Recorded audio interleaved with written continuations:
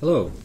In this session we're going to show you the top five most useful features of Integra's UC Cloud Voice desktop license. Uh, this falls in between the Desktop Pro license and the standard license. This one builds upon the standard license features.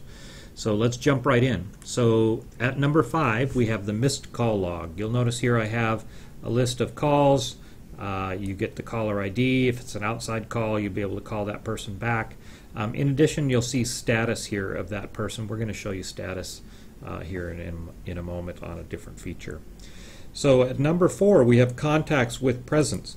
So here are our contacts. You'll notice that there are uh, icons over on the right-hand side uh, that gives you presence. So you can tell whether that person is on the phone or they're idle. Um, and then in addition to that, there's a, an icon for chat, which is another feature we'll be showing you here in a moment. So contacts with presence um, allows you to see uh, the state of that other person uh, no matter where they're at. All right, number three, visual voicemail. This allows me to see my voicemails. Now, voicemails do come in on your email, or you can call them, call in on the voicemail and retrieve that the traditional way uh, by entering your PIN. But it's handy here as well. So I can go ahead and play uh, this message from here um, in addition to this, I could delete the voicemail, Hi, Ernie. This is forward John it on to another uh, user, uh, and then I can see whether I've read the message or unread messages. You can see a list of those here. All right, at number two is chat. Uh, during uh, the contacts with presence uh, feature, you may have noticed there's a little chat icon here for some people. Uh, that person is online and available for chat. When I click on that chat icon, you'll see I now have a, a little uh, window where I can chat with the other person.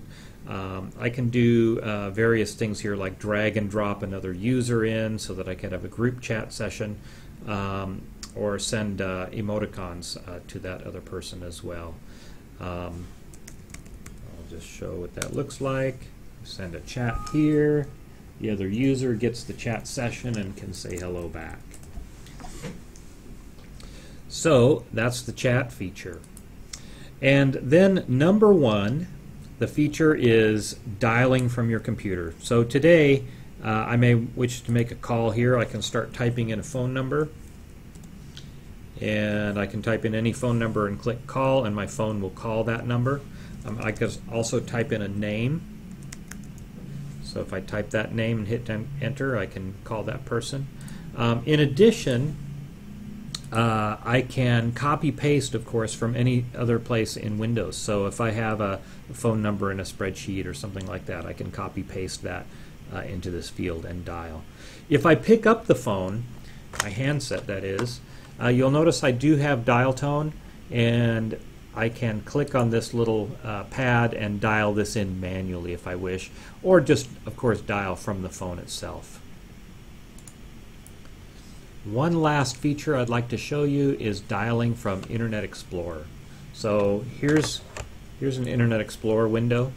Um, I can highlight a, a, phone number in Internet Explorer and then right click and dial uh, that number uh, from from that web page. Um, so there you have it. Five useful features for Integra's UC Cloud Voice desktop. Thanks for watching.